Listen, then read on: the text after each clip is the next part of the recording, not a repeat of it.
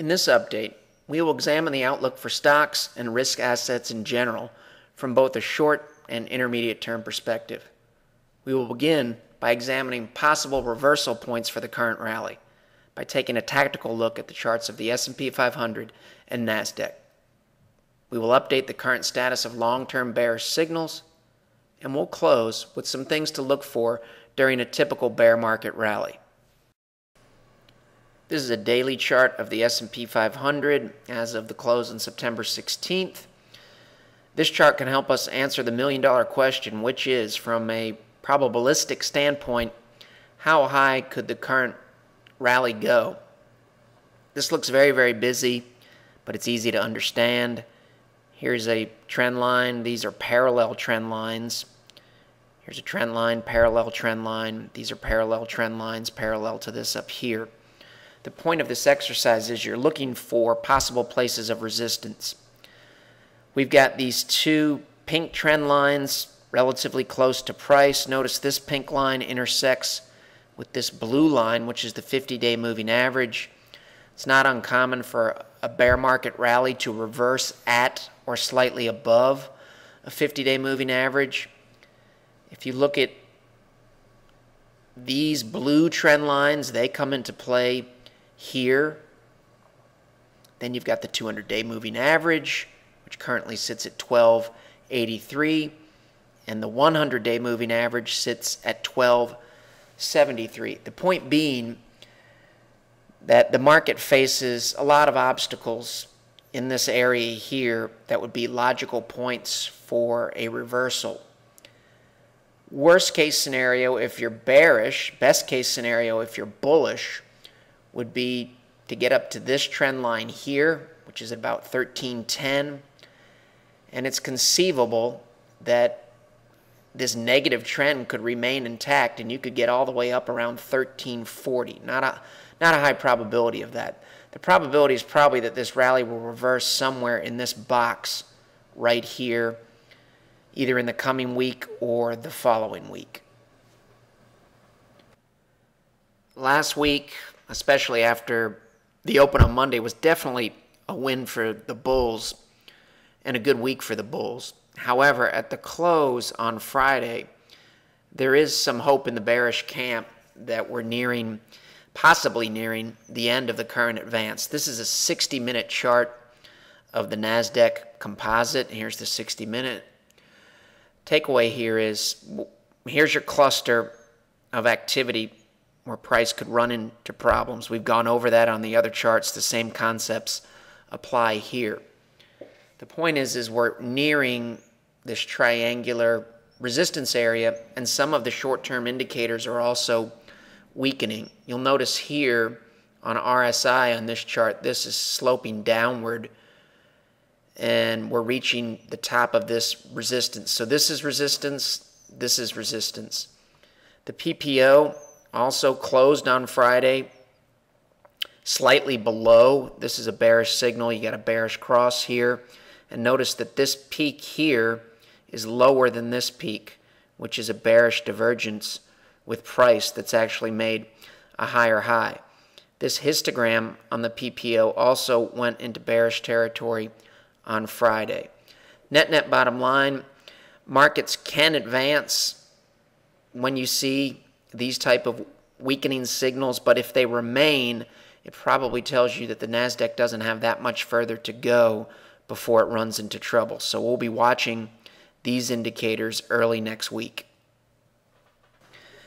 This is the S&P 500. It's a daily chart as of September 16th. You've still got a 200-day moving average that's creeping lower. This is your bearish death cross relatively late in an economic cycle. What we're looking at here is the math calculation to try to determine whether this 200 day moving average is going to continue to roll over. We'd like to see it roll over if we're bearish at a steeper slope, or does it have a, a probability of turning back up, which would have bullish implications? You would think with the market bouncing from Monday, and it should be noted that Monday during the trading day, the bearish case looked like it was in great shape. By the close on Friday and after the ECB announced and central bankers around the globe announced that they were going to pump more money into the financial system, this is where we are. As far as the math goes, you would think with these gains that the math for the 200 day moving average would get easier. It actually doesn't, and here's why. These have been the comparisons that we've been looking at during the past few weeks is this consolidation, which is very similar to where we are now, and this is why this is flat. What's getting ready to drop off are these figures here. So as we move forward, the comparisons become harder and harder. And thus, last week, when we looked at what we might expect over the next month, last week we said that the S&P 500 would have to be above 1231 for it to have a positive impact on the 200-day moving average. That case actually gets harder this week because of what's fallen off over here. So the figure this week is 1243. And these are good numbers to know because intuitively this tells you there's resistance in these areas.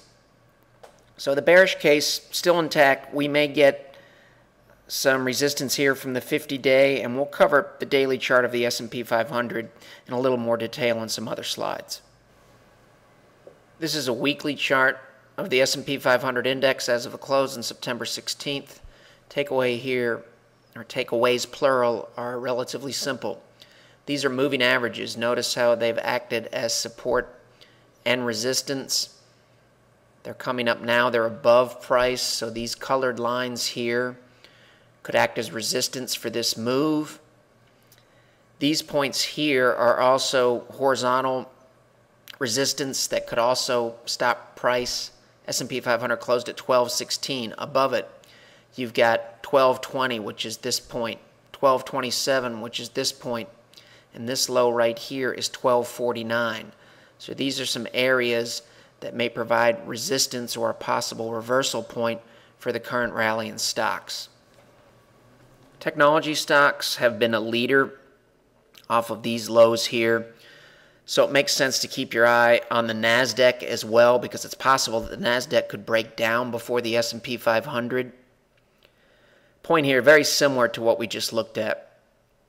It's probable that you could see the Nasdaq move into this area. This is the 200-day moving average.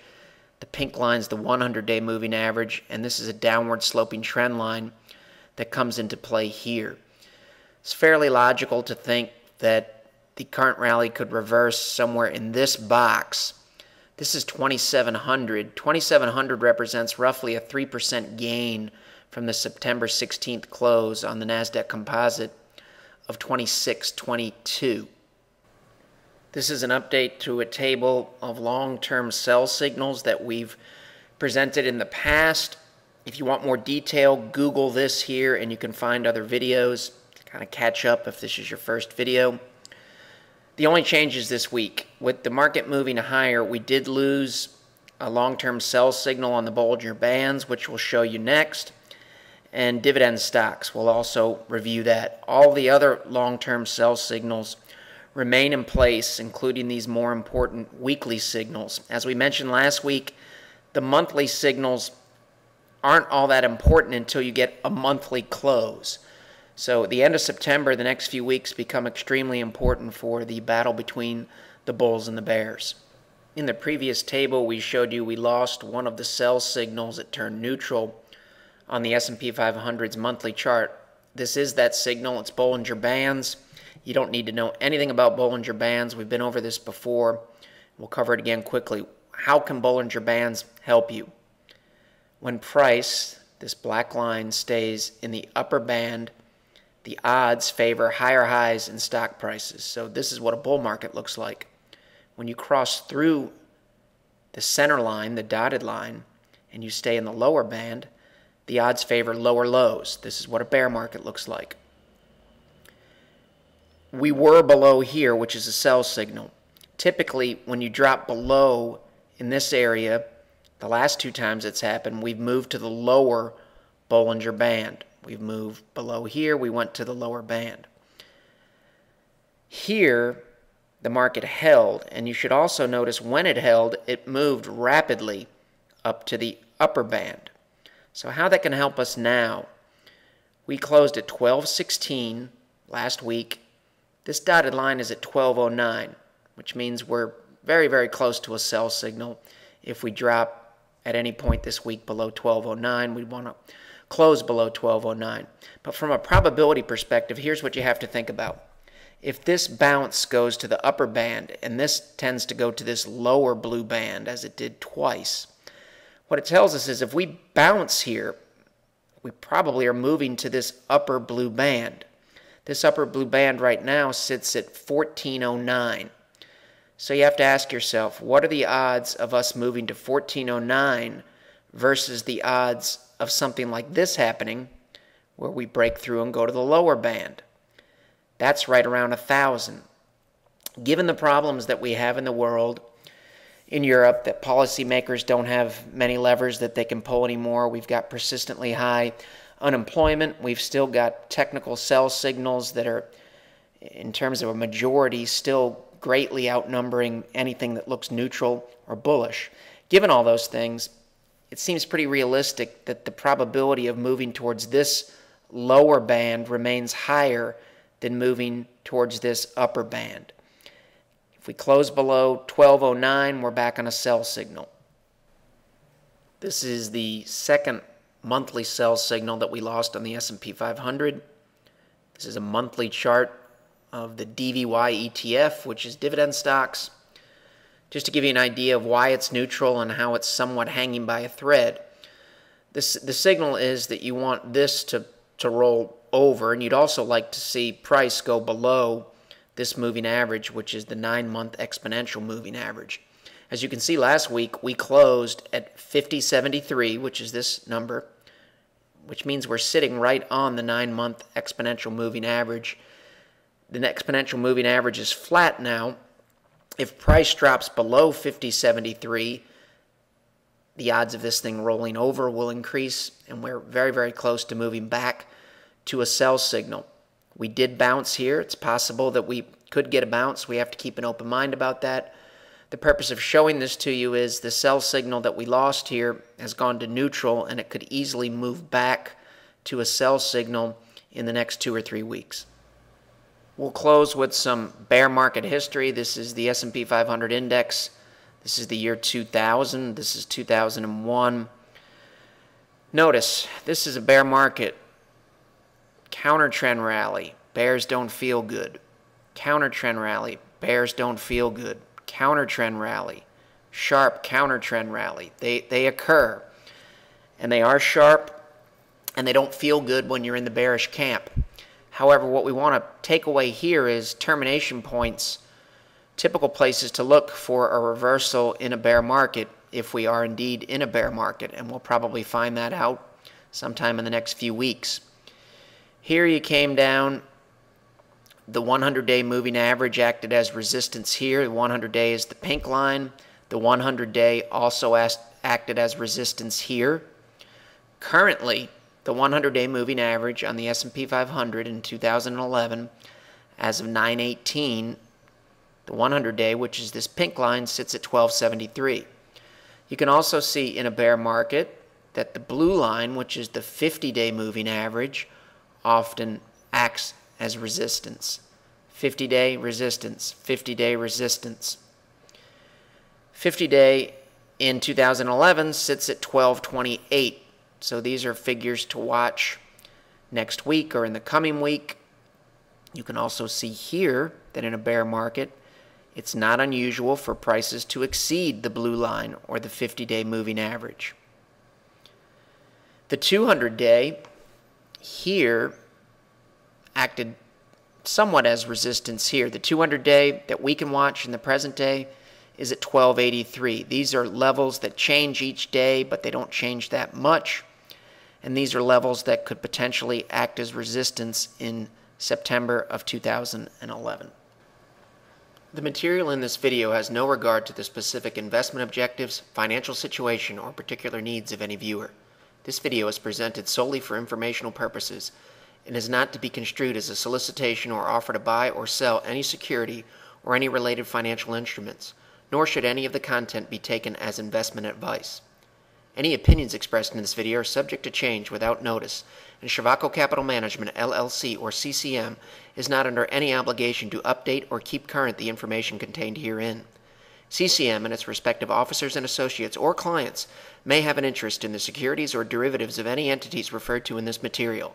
CCM accepts no liability whatsoever for any loss or damage of any kind arising out of the use of all or any part of this material. We recommend that you consult with a licensed and qualified professional before making any investment decision.